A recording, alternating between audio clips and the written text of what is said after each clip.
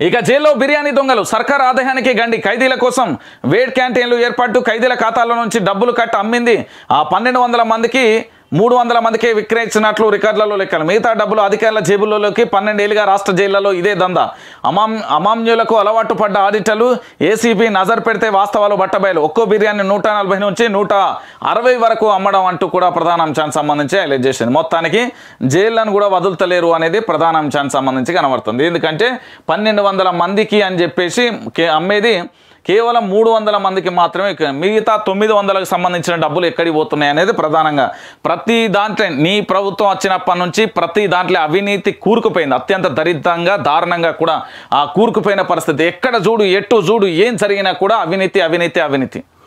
ఏ చూసినా అవినీతే ఎక్కడ చూసినా అవినీతే. బీఆర్ఎస్ పరిపాలనలో ఇగో ఇది కథ. ఇక దాంతోపాటుగా ఇవాళ ఏదో పెట్టిర్రు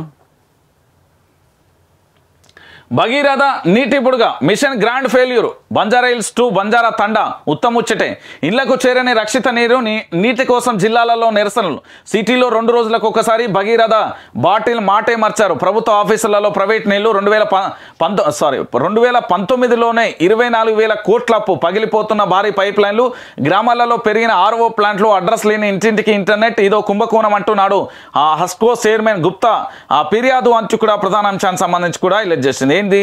ఇంటింటికి త్రాగునీరు బంజారా హిల్స్ నుంచి మారుమూల బంజారా తండాలకు ఒకే రకమైన నీరు సరఫరా చేస్తాం. దీనితో పాటు ఇంటింటికి ఫైబర్ బ్రేడ్ కనెక్షన్ కూడా ఇంటర్నెట్ అందిస్తామంటూ ప్రభుత్వం ప్రజలను మిషన్ భగీరథ ఊహలలో ముంచెత్తింది. తీరా చూస్తే పట్టణాలలోనే చాలా ప్రాంతాలలో భగీరథ నీరే అందడం లేదు ఫైబర్ గ్రిడ్ అనే మాటే లేదు అంటూ కూడా నేడు మంచినీళ్ళ పండుగ కదా. వీళ్ళు ఏం చేస్తారు? తెలంగాణకు సంబంధించి భగీరథ నీళ్ళు నీటి బుడుగా అని చెప్పడంలో ఇంకొక డౌటే లేదు. ఏముంటుంది అలా ఏమొచ్చింది? ఏడ పోయినా కల్తీకి సంబంధం కల్తీ ఎట్లా అంటే పైప్ లైన్లు కదిలి గతంలో ఏంది రియాక్షన్ అయిన కొంతమంది చనిపోయిన పరిస్థితి కూడా చూసాం. ఇంకొకటి ఏం ఏమని చెప్పిలంటే ప్రభుత్వ ఏంది ఆఫీసులలో మొత్తం నీళ్ళ బాటిల్ ఉండాలి భగీరథ బాటిల్ ఉండాలి అని చెప్పి నాలుగు రోజులు ఉత్తముచ్చట చెప్పిరు ఆ తర్వాత జాడముత్తటని లేదు. అసలు కళ్ళకు కనబడతనే లేదు. ఇయ్యాలేదో వచ్చి ఏదో చేస్తానని చెప్తున్నారు. రైట్